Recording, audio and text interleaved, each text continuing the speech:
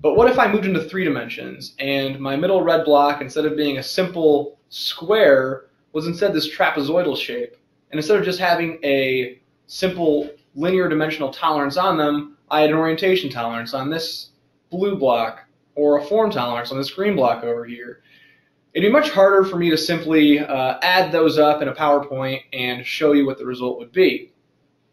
So if I hop into um, a 1D worst case versus a 3D worst case, the shortcomings of a 1D worst case, and when I talk about a 1D stack here, I'm simply talking about the three block demonstration that I gave earlier.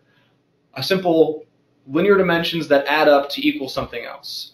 And so in that case, I'm assuming that all my tolerances have a one-to-one -one effect on measure. I'm ignoring any geometric effect that my geometry has on my measured location. Um, additionally, it's going to be hard for me to capture angular variation using a 1D stack because as I just said, we're looking at only linear dimensions when we talk about a 1D worst case stack. Um, we're also limited in scope because we can only look at the problem in one dimensions. This problem could be in two dimensions or all three dimensions, but in using a 1D stack, we can only look at it in one dimension. With a 3D simulation, we can capture the geometric effect and we can capture the angular variation. However, as I just mentioned before, doing one of these by hand is going to require me to do some rigorous hand calculations. And also, along the way, there's a large possibility for human error as I'm trying to get my vector directions correct and figure out where my geometry is going to have the largest effect on my measured location. Luckily, in this case, 3DCS can help us get to an answer. And now, as an example of a 1D stack versus a 3D stack, my colleague Gary Vell has created a simple demonstration of what can happen. So we have two buddies here. Our buddy on our left is a 1D stack.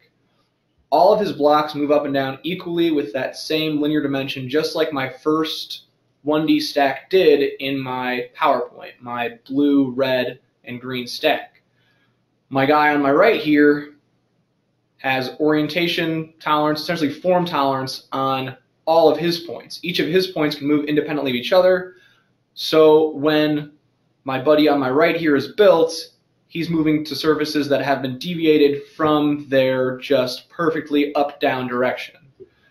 So if I now build my guys and I click deviate,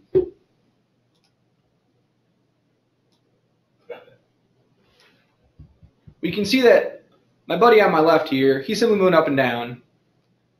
Unfortunately, my guy on my right, while still all staying in one piece because those moves are moving him together, he's moving all over the place because he's moving to points that are individually deviated, such as an orientation tolerance or a form tolerance, whereas on the left here, he's only moving to linear size.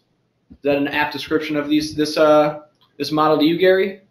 It is, and uh, any of you guys uh, have been with DCS for a long, long time, this model was created in uh, 3DCS um, multicad back before we even had solid data available.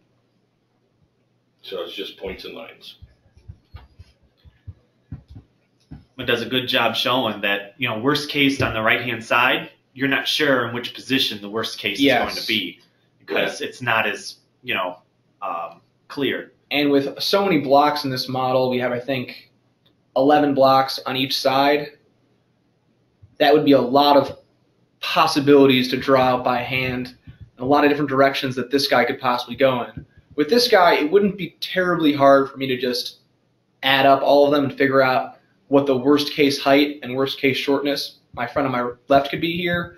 But the guy on the right, it's very difficult for me to tell his height, first of all, but also if we wanted to find out how far in the y direction or how far in the x direction you get away, um, we're looking at a lot of different possibilities and when you combine all those, it can get a little bit difficult, and I don't really want to imagine trying to do that without the help of some software like 3DCS.